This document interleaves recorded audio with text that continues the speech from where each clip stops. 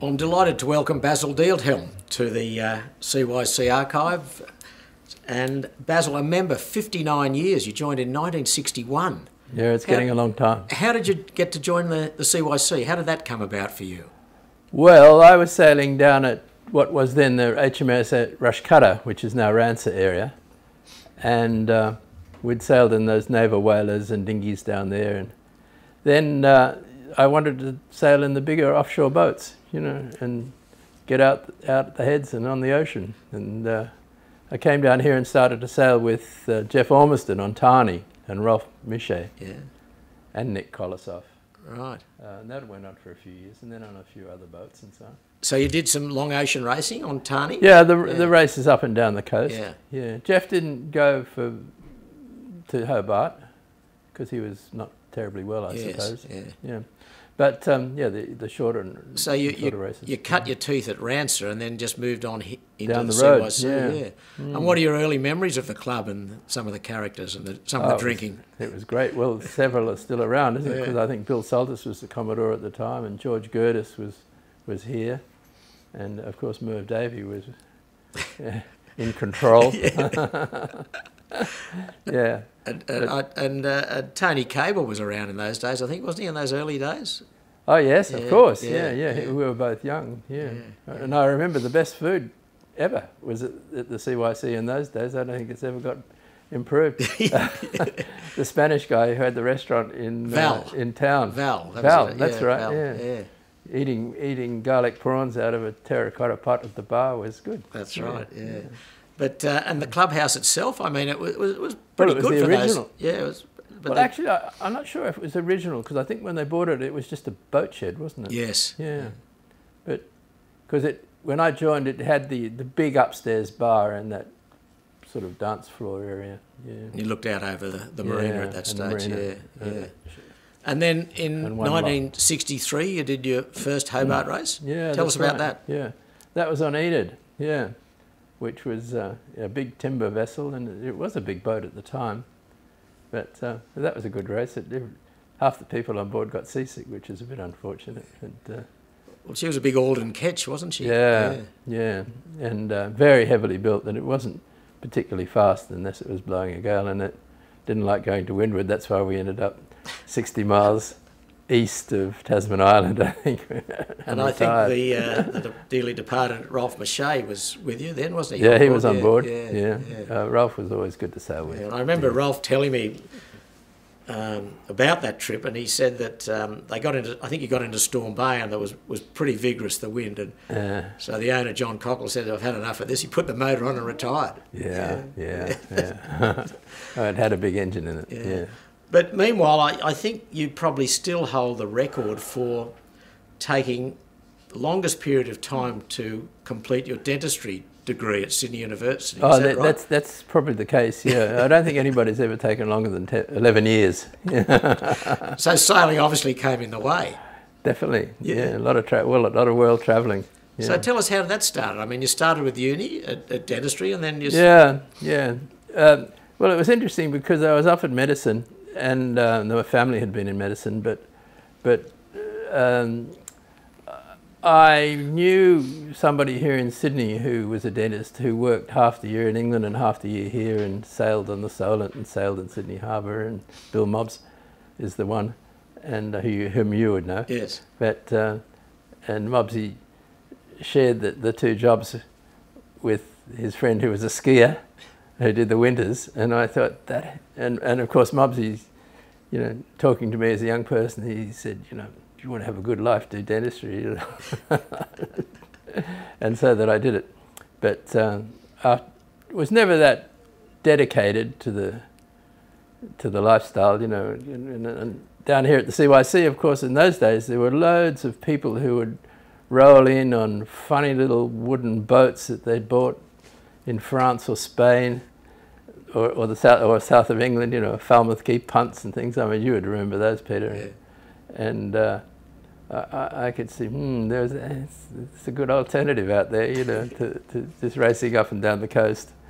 And uh, so I think after third year, I, I, I packed it in and took off. You know. So dentistry was on hold, and you found yourself backpacking and you ended up in the United Kingdom and did the 65 Fastnet race. Yes, yeah, and uh, that was great to get to England, and um, I got to Cowes and. Um, I found a place to stay for 50, cent, 50 pence, or cent, would, would have been, I forget what the Pence, currency was. pence, Pence, pence a night, yeah. Up, up the high street in someone's back room. Gee, that must have been classy. 50 Yeah. pence a night. Well, it's just a little local council house, family, nice family. And uh, got a job as a, I was having a, a burger in a wimpy bar, and the lady was talking on the phone that she needed a, to somebody that she needed a chef and or a cook. And uh, when she got off the phone, I said, "Well, I know how to cook hamburgers. You know, maybe I can help you." and I ended up working there, but it was on the conditional that whenever I had the chance to go sailing, I'd, I'd be not committed to the burger bar.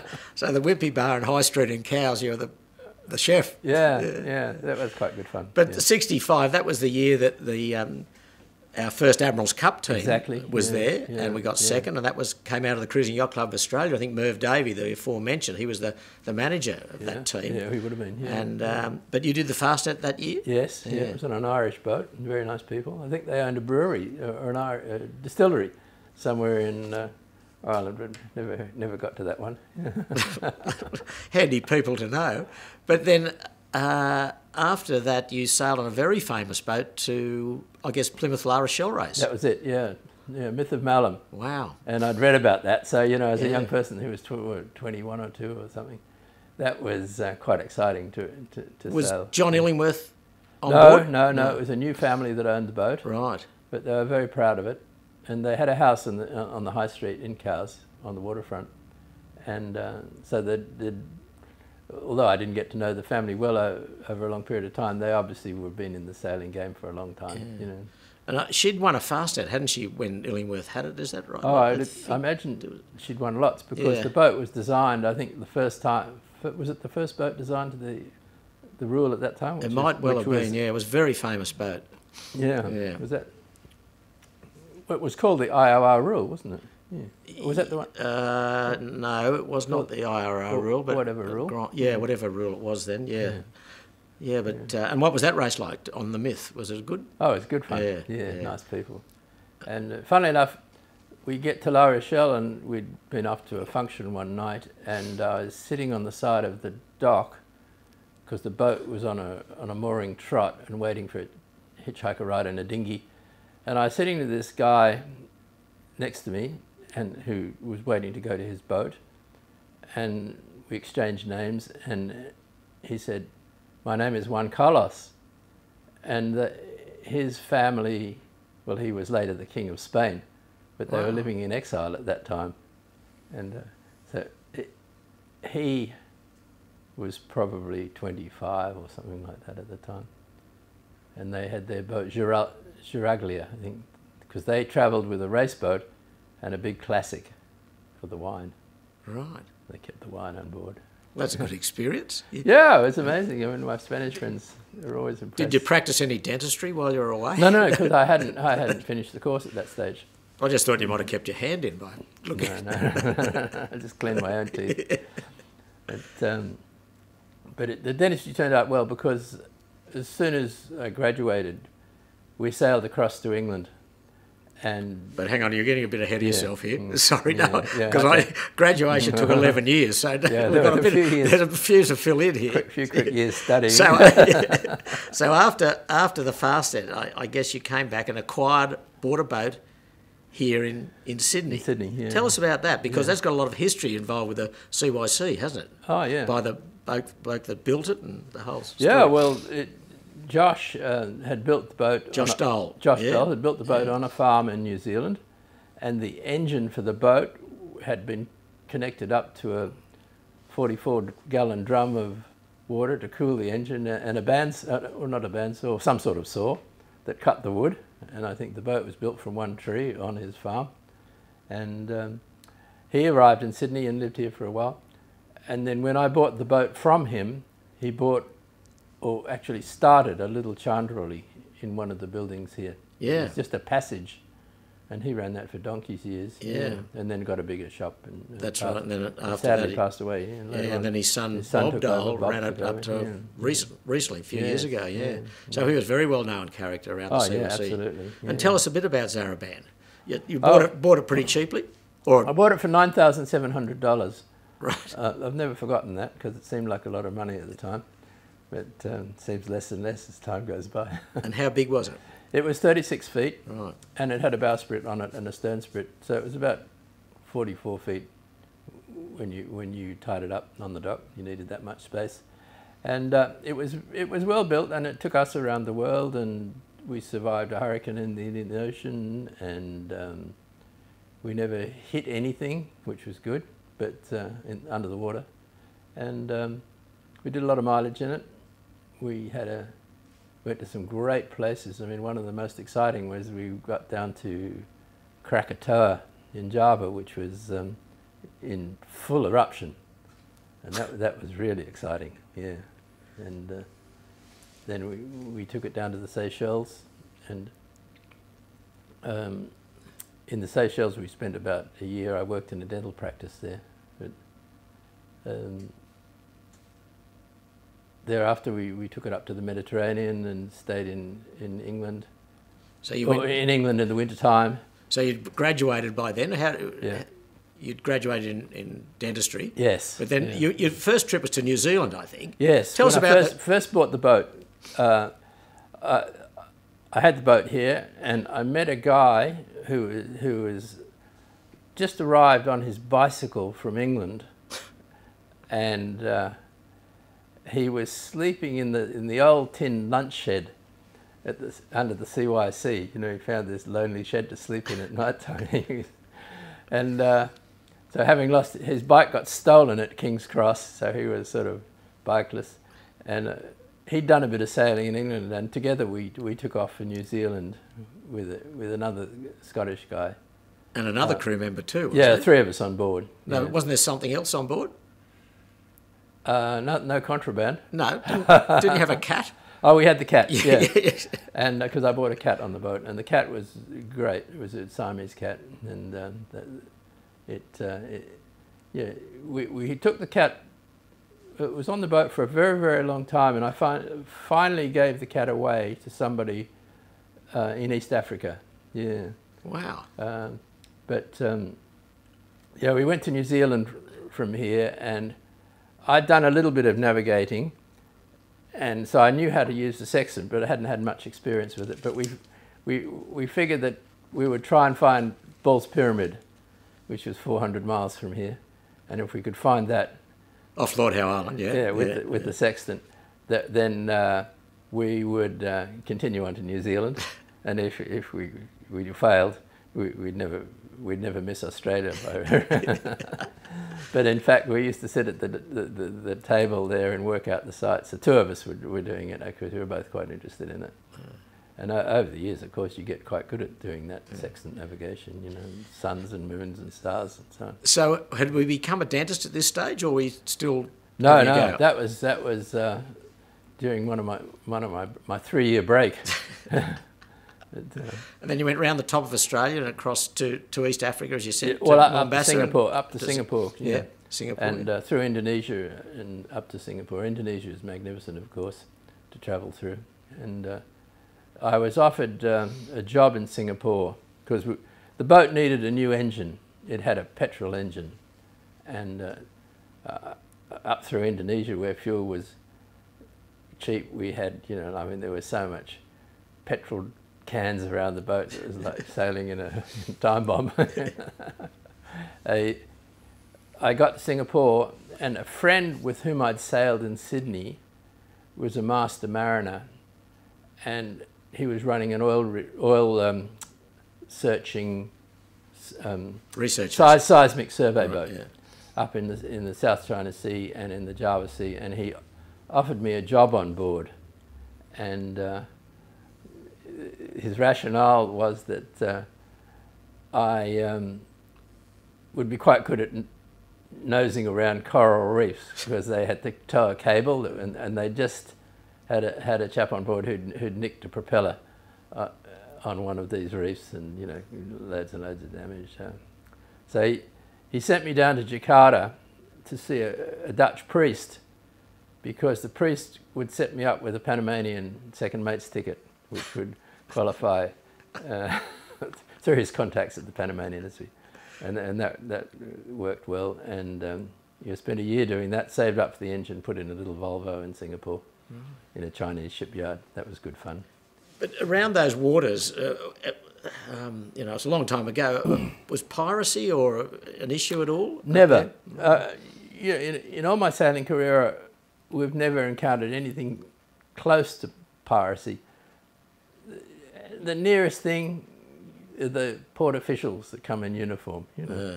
you know, in some countries, you know, corrupt officials. You know, but in places like Indonesia, um, it's amazing what and you felt safe the whole time? You don't have to bribe very much money to smooth everything out. Yeah. yeah.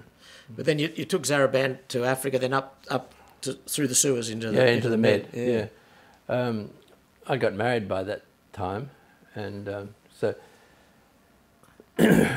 we we were in the Med for um, oh, quite a few years with the boat because I, I had got back and studied dentistry and um, what did you leave the boat somewhere and yeah, fly home and yeah.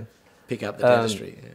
We brought the boat back to Sydney at one stage, and we brought it. We we did a deal in, in East Africa on a freighter, and we got it back to Sydney. And I remember Bill Bold, who you know from the yeah. he helped us unload it here in Sydney, and that's when I came back and did the final two years. So the, the week after the graduation, we left again. and where do we go then? Yeah, we went to Lord Howe Island because right. I had a job as a dentist then right. um, on Lord Howe. A chap in Marrickville who used to go there fishing and fixing the teeth. He, he wanted to have a break and uh, he gave me that. And then we that was our, our, continuation then was on again to the north of Australia and through Indonesia to Singapore. Right. And um, with my wife. And uh, then um, was the boat still holding together well? Oh, it was great. Yeah. It was always good. And uh, when I eventually sold it to Max Keane years, some years later in Sydney, uh, it was still a good boat. Yeah. And so after you, after you sold it, what was the next vessel that you had? Ah, um, didn't have a boat for a long time. We um, in the right sequence, I think in England, I bought a, a Swanson 40 something, 6 4, from another dentist who'd sailed it halfway around and left it in Spain in a bit of a derelict condition and sailed that back to Australia. And then later Swan on. or Swanson? Swan? Swanson. Swanson, yeah, okay. Yeah.